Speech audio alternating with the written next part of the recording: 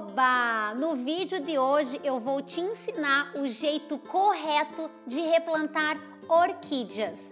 Eu vou te mostrar os tipos de vaso, o substrato correto, qual é o manuseio que a gente deve fazer com a planta e quando é a hora certa de fazer o replantio.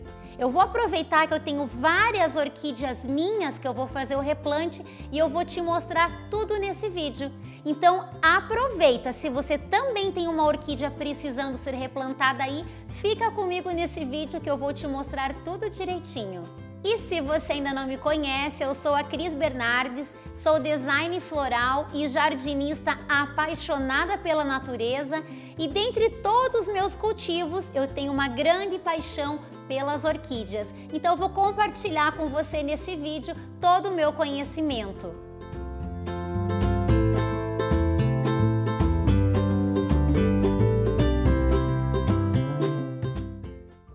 Vamos começar então falando quando é hora de replantar a nossa orquídea, quando é o momento certo de trocá-la de vaso. Eu vou te contar quatro situações para você ficar atento aí.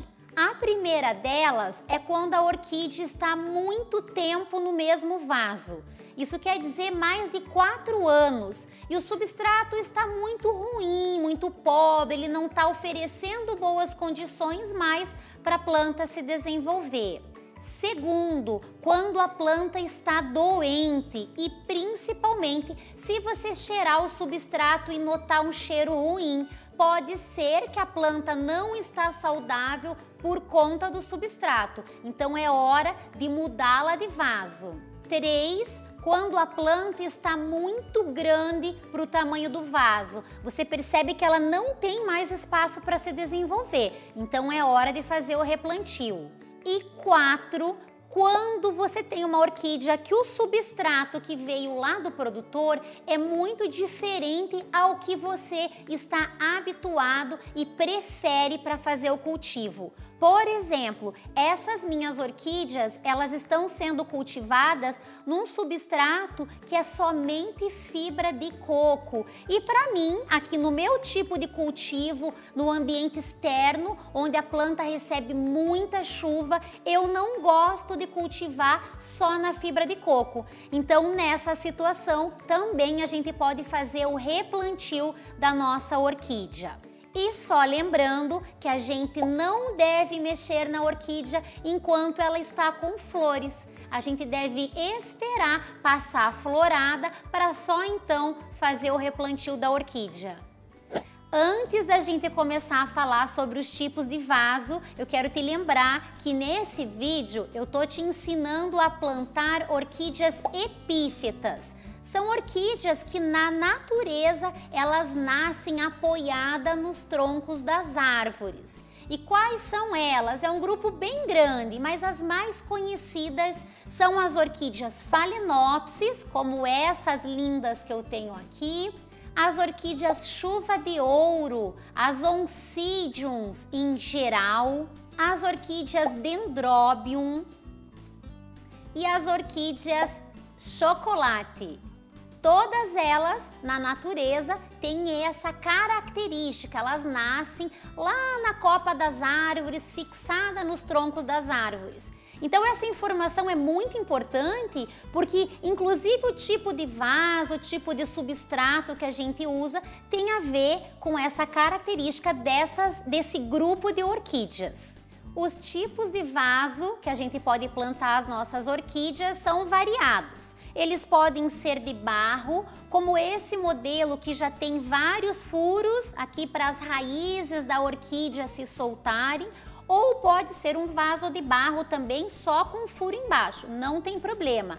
Mas existe a possibilidade de plantar no vaso de barro, no vaso plástico ou nos cachepôs, aqueles que são feitos de madeirinha, exclusivos para cultivar a orquídea mas o importante é que essas peças sejam bem furadas, porque as orquídeas não gostam que a água acumule nas raízes. Então esses furinhos todos são importantes para drenar a água da chuva ou da rega com bastante facilidade. E não existe o melhor vaso para você cultivar. Você pode escolher qual é da sua preferência, só lembrando que os vasos de barro, eles têm uma característica de puxar a umidade do substrato para ele. Então, se você for cultivar orquídeas em vasos de barro, você pode fazer uma boa impermeabilização ou então você fica mais atento em relação à rega, porque a necessidade vai ser maior, o substrato vai secar mais rápido por conta do vaso. E agora vamos falar sobre o substrato, o material que a gente vai utilizar para fazer o plantio. Então, as orquídeas epífitas, elas não levam terra vegetal nesse substrato. O substrato das orquídeas epífitas, ele é composto por materiais bem leves, como casquinha de árvore, pedacinho de carvão triturado, musgo esfagno. Então todo esse material bem leve que permite tanto a água da chuva escorrer com facilidade, quanto as raízes da orquídea passarem por entre esse substrato. Você pode comprar esse substrato já pronto para uso, ele já vem dessa maneira aqui que eu mostrei para vocês, ou você também pode preparar. Vai colocar uma parte de casquinha de árvore, uma parte de carvão triturado, uma parte de musgo esfagno, pode acrescentar também um pouco de pedra brita, principalmente quando a gente cultiva no vaso plástico, a pedra brita ajuda a dar um peso, a deixar a planta mais firme. Então pode acrescentar no substrato também um pouquinho de pedra brita. E aqui para o plantio eu já coloquei de molho esse substrato numa solução com enraizador. Então ele ajuda já a hidratar essas casquinhas, esse carvão e principalmente o musgo esfagno, que ele vem bem sequinho, assim bem desidratado e a gente deixando ele de molho, ele fica mais fácil até para a gente fazer o manuseio e fazer o plantio da orquídea. Então você pode usar qualquer enraizador, só segue a recomendação de dosagem que tem no rótulo do fabricante e deixa por uns 10 minutinhos aqui o substrato de molho antes de você fazer o plantio. Vamos começar a preparar a nossa orquídea para o plantio e o primeiro passo é a gente retirar aquele pauzinho que é o tutor da haste floral e eu em particular gosto muito todas as vezes que a haste floral já está feia eu faço o corte dessa haste. Então eu sempre corto lá embaixo, eu deixo apenas uma gema e faço o corte em diagonal e já coloco uma canelinha em pó ali no corte para evitar a entrada de fungos.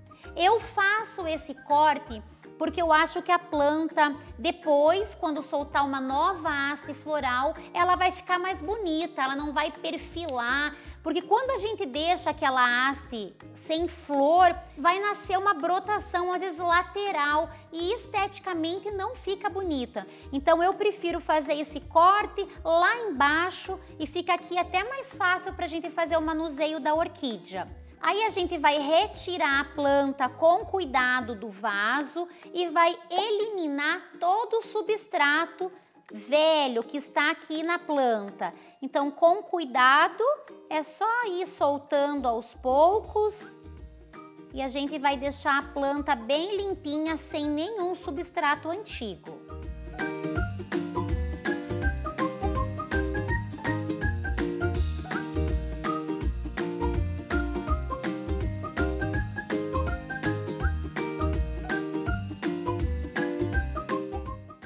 Substrato estiver com cheiro ruim, se a planta toda você perceber que ela não tá legal, você pode lavar a planta em água corrente, tá? Leva debaixo da torneira e lava bem a planta para eliminar esse esse cheiro ruim, essa possibilidade de doença aqui nas raízes da planta e a gente não vai cortar nenhuma raiz a não ser que ela esteja podre, esteja muito doente. Caso contrário, a gente nunca corta as raízes da orquídea. Então eu vou começar plantando essa minha orquídea no cachepô de barro. Então eu vou começar colocando um pedacinho de manta de drenagem só porque o furo aqui embaixo ele é bem grande e para o meu material não escapar. Então eu vou colocar um pedacinho aqui no fundo do vaso e o meu substrato já está aqui hidratadinho, né, no enraizador. Eu vou fazer uma camada no fundo, a gente chama de berço de plantio. Então vou fazer uma camada generosa no fundo do vaso vou acomodar a minha orquídea bem no centro. Então, lembrando que a gente é, pode fazer só assim um, um coquezinho com as raízes, assim, gentilmente na mão. E a gente vai posicionar a planta no centro do vaso. É importante a gente sempre escolher um vaso proporcional ao tamanho da orquídea. Como ela é uma planta que cresce lentamente, não tem necessidade da gente escolher um vaso muito grande para uma muda muito pequena. Então, agora posicionada a minha orquídea, eu vou completar com o substrato. E aqui, gentilmente, eu vou apertando com a ponta dos dedos para que o substrato vá entrando entre as raízes aqui e a planta fique firme é muito importante ela se sentir firme para conseguir se desenvolver.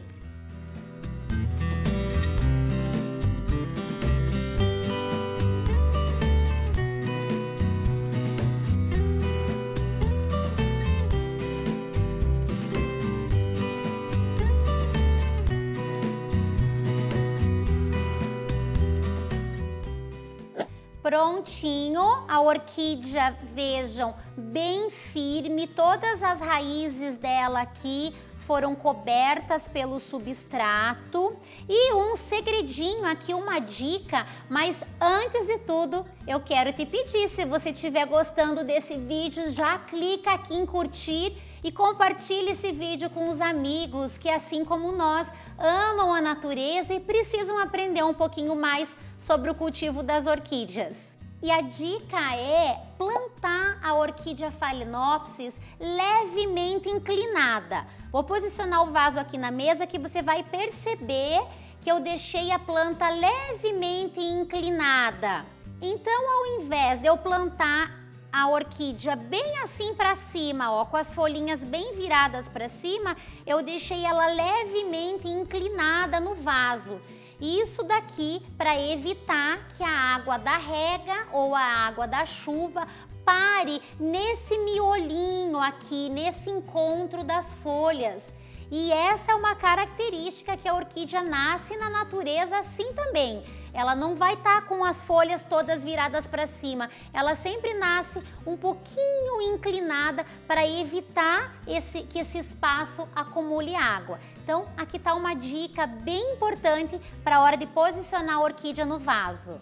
E eu vou continuar agora plantando as outras orquídeas no vaso plástico. E aqui a única diferença é que eu vou adicionar um pouquinho de pedra brita, já que o vaso é leve e o substrato também é leve, para a pedra brita nos ajudar a dar mais firmeza nesse vaso. Vou começar com a pedra. Também vou fazer a cama de plantio.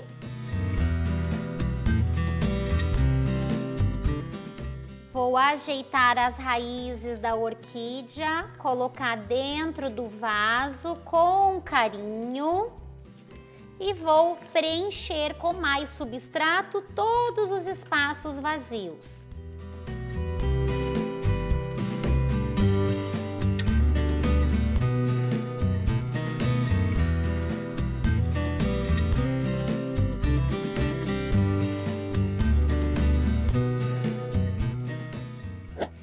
Enquanto eu vou continuar aqui no meu plantio, eu quero te pedir, se você ainda não é inscrito, clica aqui para se inscrever no meu canal e já ativa o sininho, porque sempre que sair vídeo novo, você já vai ficar sabendo de primeira mão. E assim também o YouTube entende que o vídeo é bom e mostra para mais pessoas que amam a natureza. E por último, eu vou plantar uma orquídea utilizando o substrato seco. Ele não ficou de molho no enraizador. Porque caso você não tenha um enraizador aí na sua casa, não tem problema. Isso é um plus na hora do plantio, mas é possível fazer esse plantio sem o enraizador. Então eu vou te mostrar aqui como também não tem dificuldade nenhuma, o procedimento é o mesmo. Vou começar colocando a pedra brita no fundo do vaso o berço de plantio.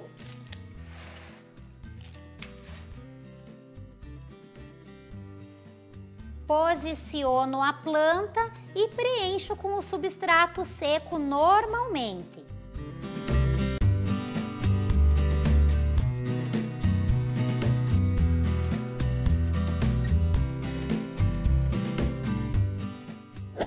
Nesse caso, como o substrato está seco, eu vou fazer a rega logo após o término do plantio. E a rega das orquídeas, a gente tem que lembrar que é sempre em abundância.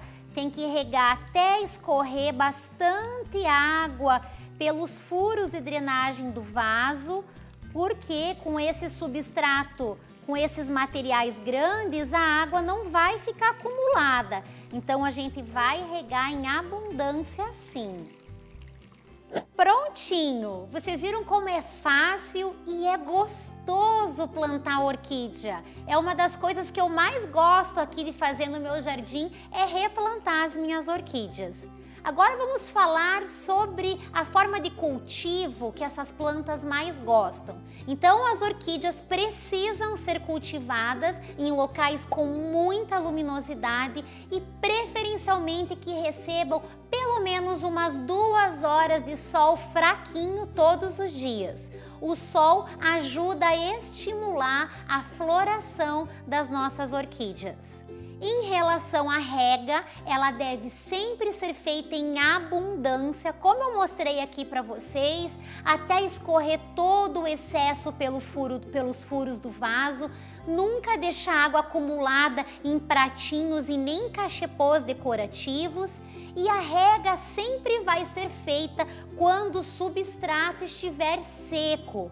Então isso varia muito de região para região, varia se você cultiva a sua orquídea dentro de casa ou se ela está exposta ao ambiente externo, ao vento, à chuva. Então você tem que observar e se ficar na dúvida, toca o substrato, observa a cor do substrato, a cor das raízes e só rega quando ele estiver sequinho. Em relação à adubação, existem muitas opções no mercado. Um adubo que está sendo muito usado é o bocashi, é um adubo sólido que a gente coloca ele diretamente no substrato da orquídea, sempre nas bordas do vaso, e a gente sempre deve seguir a recomendação da dosagem que diz aqui no rótulo do fabricante e você pode intercalar com outros adubos. Esse daqui, por exemplo, é um adubo específico para orquídea. Então, tanto a diluição quanto a frequência, sempre siga as instruções do rótulo do fabricante.